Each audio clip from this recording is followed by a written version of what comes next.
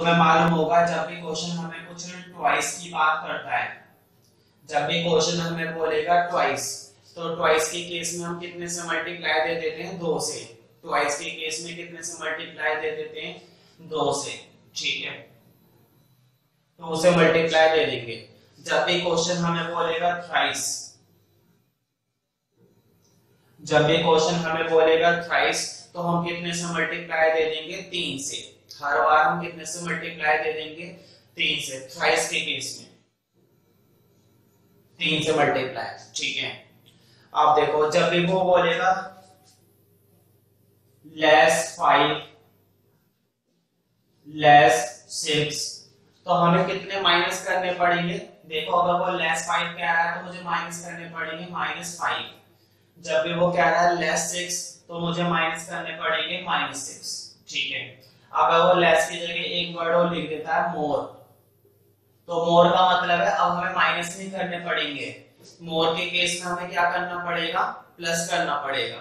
तो मोर के केस में मुझे करना पड़ेगा प्लस फाइव तो ये कुछ लॉजिक है जो इस तरह के क्वेश्चंस को काफ़ी इजी बना देते हैं, जो अभी मैं करवाने वाला हूँ. तो शुरू करते हैं. काफ़ी सारी बातें हमें पता चल गई हैं. तो क्वेश्चन नंबर सिक्स में पढ़ रहा हूँ. ध्यान से सुनना. A cottage industry produces a certain number of pottery articles in a day cottage industry मालूम होगी तुम्हें कॉटेज इंडस्ट्री उन्हें कहते हैं जो घरों में काम करते हैं। घरों में अपना छोटा मोटा काम कर लेते हैं, जैसे गुड़िया बनाना, कपड़ों पर कढ़ाई करना, मिट्टी के बर्तन बनाना, इन्हें बोलते हैं कॉटेज इंडस्ट्री तो खैर, ये मुद्दा नहीं कि कॉटेज इंडस्ट्री क्या होता है। वैसे मैंने रफली थोड़ा सा बता दिया। कि कॉटेज इंडस्ट्री होता क्या है? तो इस क्वेश्चन में बताया गया है कि एक कॉटेज इंडस्ट्री है, वो कुछ पोल्ट्री आर्टिकल्स बनाती है। पोल्ट्री का मतलब होता है मिट्टी। मिट्टी, ठीक है? और आर्टिकल्स का मतलब होता है बर्तन। तो कुल मिलाकर है पोल्ट्री आर्टिकल्स का मतलब मिट्टी के बर्तन। तो कि कोई कॉटेज इंडस्ट्री है और वो क्या बनाती है? मिट्टी के बर्तन बनाती है एक दिन में। और ये नहीं बताया कितने बनाती है। देखो, लिखा हुआ है a cottage industry produces a certain number of pottery articles in a day. कुछ बनाती है, certain का मतलब कुछ बनाती है। एक दिन में दस बना लेती है, पंद्रह बना लेती है, बीस बना लेती है, सौ बना लेती है, कुछ भी बना सकती है, ठीक है?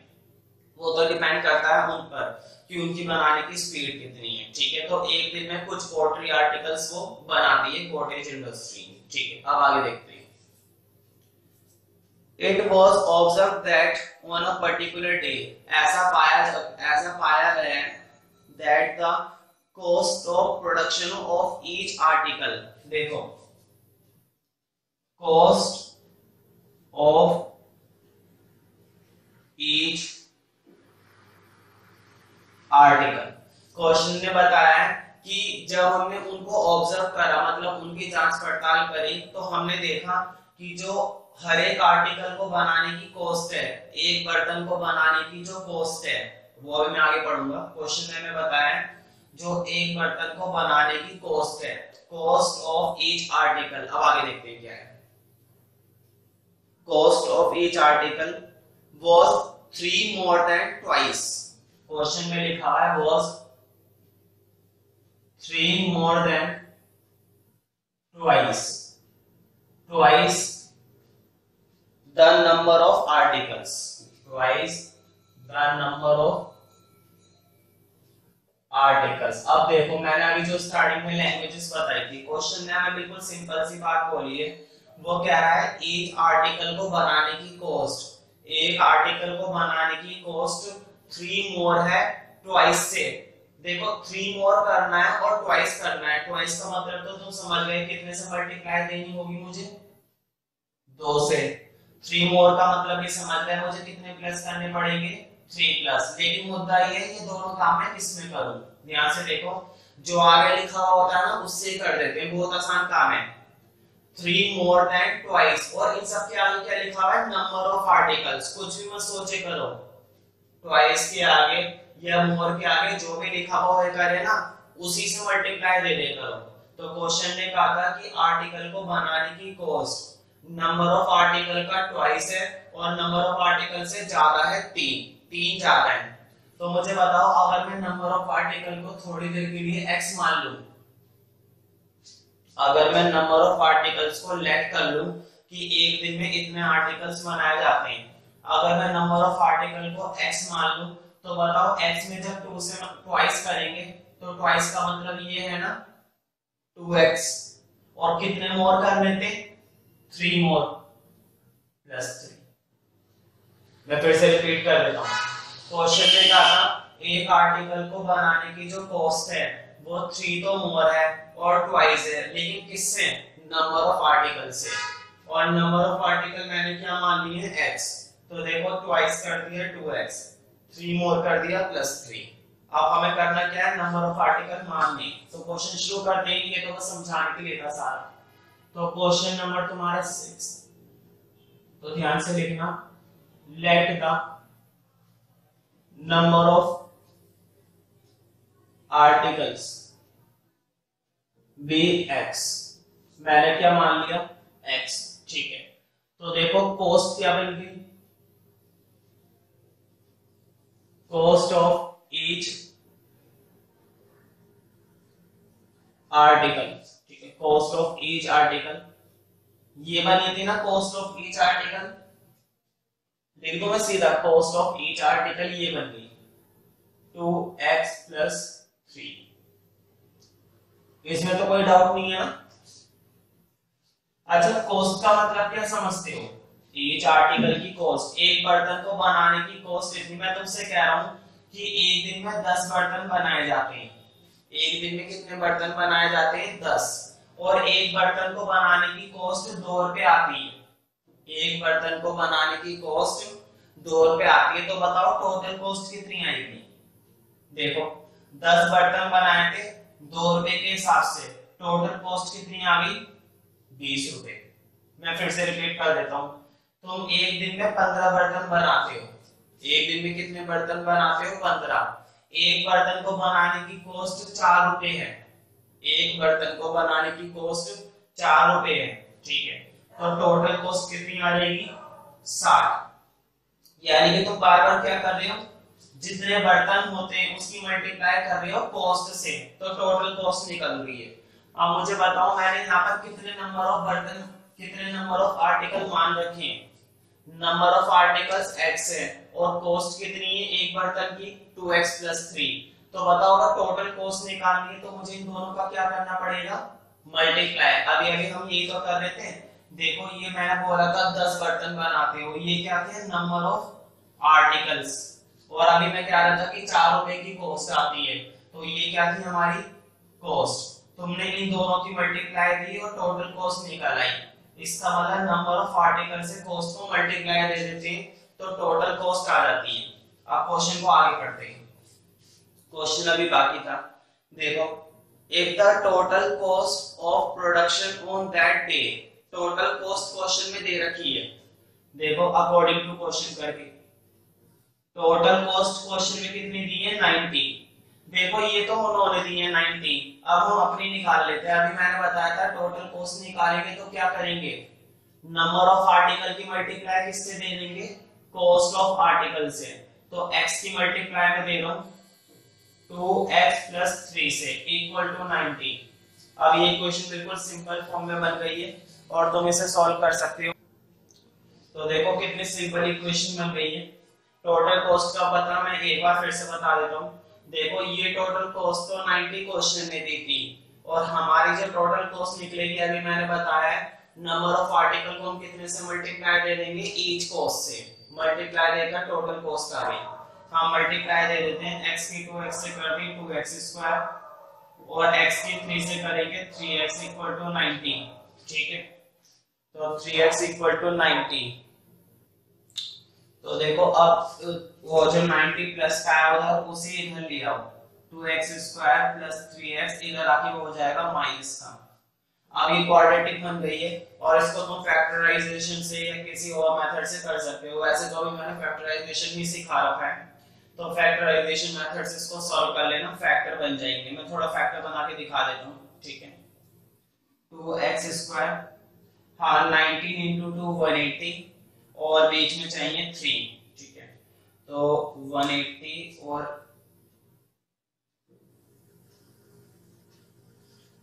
साठ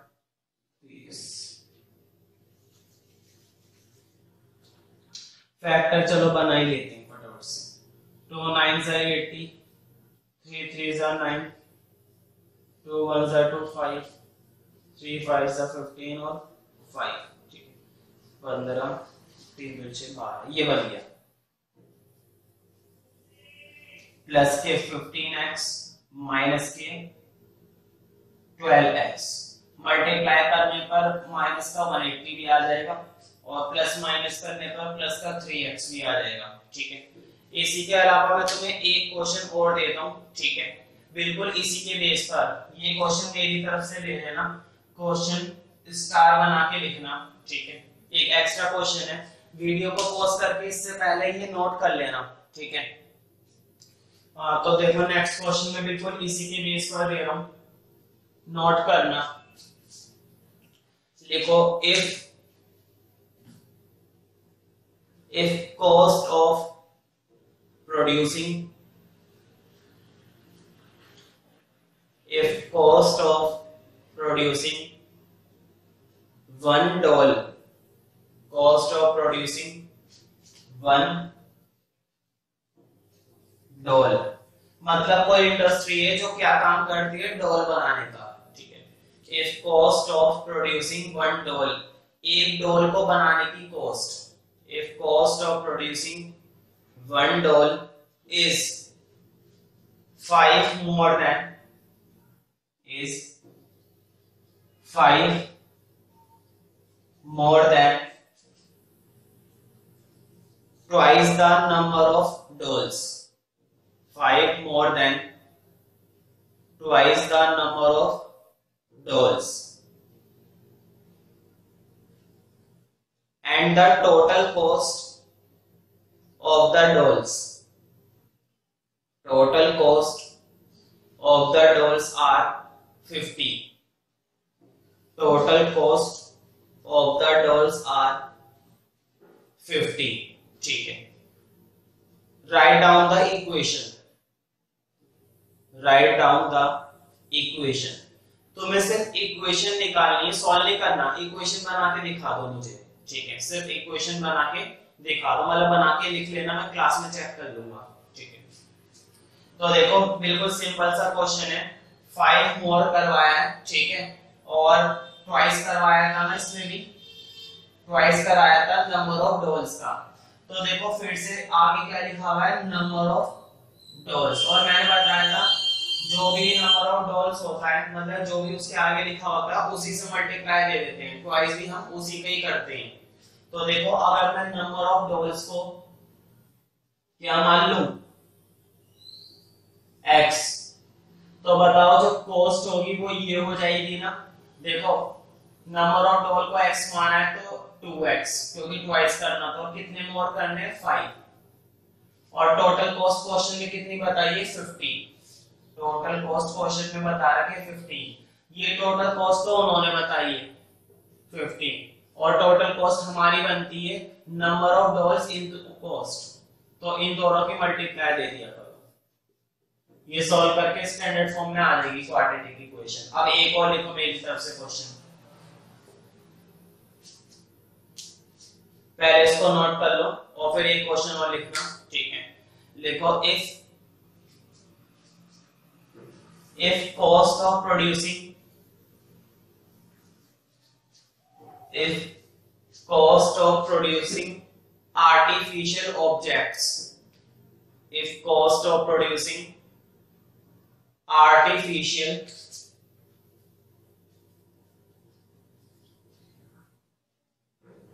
artificial objects is is is more than 10 rupees is more than 10 rupees and twice the